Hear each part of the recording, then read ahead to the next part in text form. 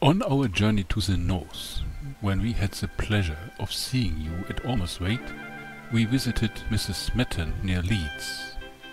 Being about to show her the smoothing experiment on a pond near her house, an ingenious pupil of her, Mr. Jessop, then present, told us of an odd appearance on that pond which had lately occurred to him. He was about to clean a little cup in which he kept oil, and he threw upon the water some flies that had been drowned in the oil. These flies presently began to move and turned round on the water very rapidly, as if they were vigorously alive. Though on examination he found they were not so. I immediately concluded that the motion was occasioned by the power of repulsion, and that the oil, issuing gradually from the spongy body of the fly, continued the motion.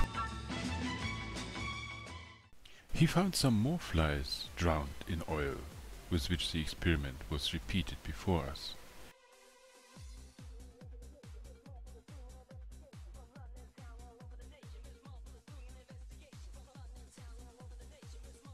And to show that it was not any effect of life recovered by the flies, I imitated it by little bits of oiled chip and paper cut in form of a comma, when the stream of repelling particles issued from the point made the comma turn round the contrary way.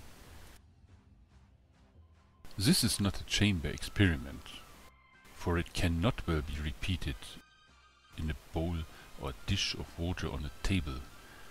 Considerable surface of water is necessary to give room for the expansion of a small quantity of oil.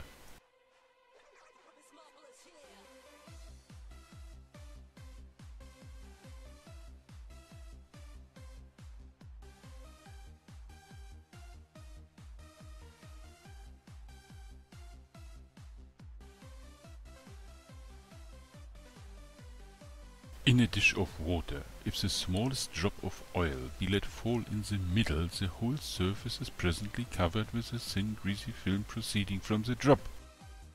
But as soon as the film has reached the sides of the dish, no more will issue from the drop, but it remains in the form of oil, the sides of the dish putting a stop to its dissipation by prohibiting the further expansion of the film.